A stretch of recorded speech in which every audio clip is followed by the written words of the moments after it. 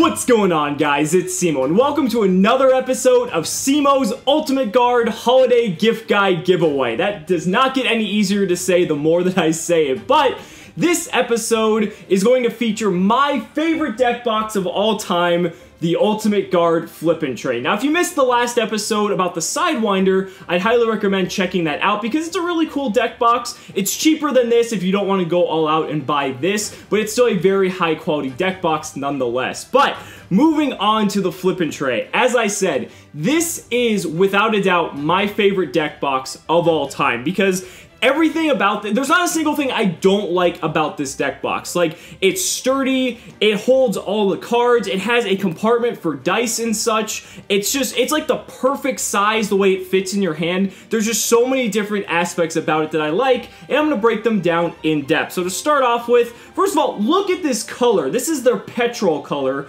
I, this is just a beautiful color that this deck box comes in. I mean, it comes in a myriad of different colors, so, you know, if you're not a fan of, like, a tealish blue or a turquoise, whatever you want to call this, like I am, you know, you can get black, purple, uh, yellow, red. They have so many different colors, it's kind of ridiculous.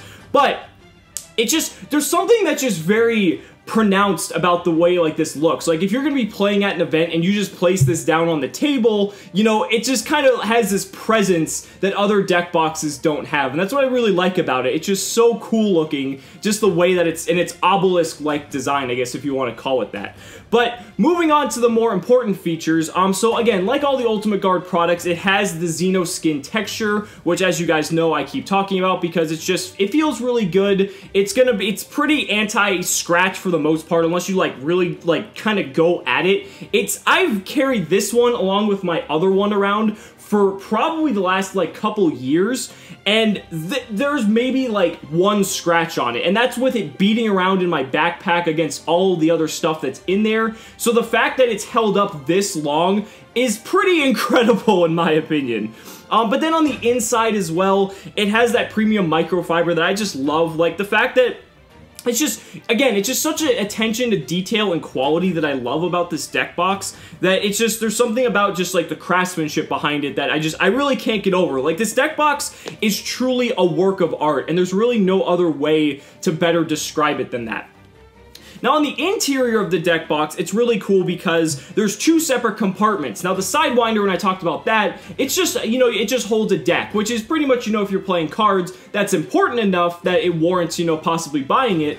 But the thing about the Flip'n'Tray is it's it's more kind of an all-in-one deck box. And what I mean by that is it has a compartment to hold your deck, and this this deck box can hold about 100 double-sleeved cards. I think it can go up to about 120 single-sleeved cards, which is more than enough. Like, I know Magic players, that's definitely um, more of a good feature. But for us Yu-Gi-Oh players, you know, the main side and extra combined is at a minimum 70 cards and at a maximum 90 if you're playing a 60 card deck.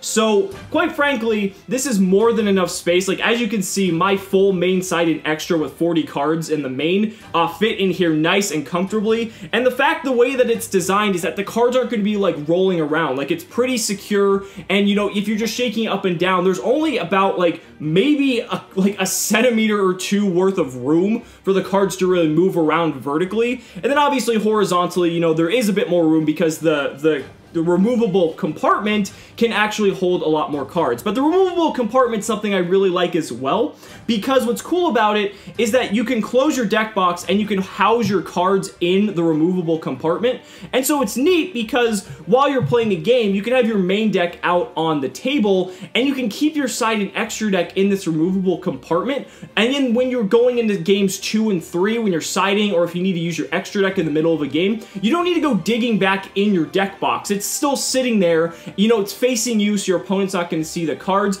And honestly, you can kind of just pick through the cards very easily if you go from the top of the card to really just get to whatever card you need. So I really love this removable compartment. It's just, it's so sleek. And the fact that it's just, I can just put my cards on the table and not really have to touch my deck box the duration of the match is really, really convenient.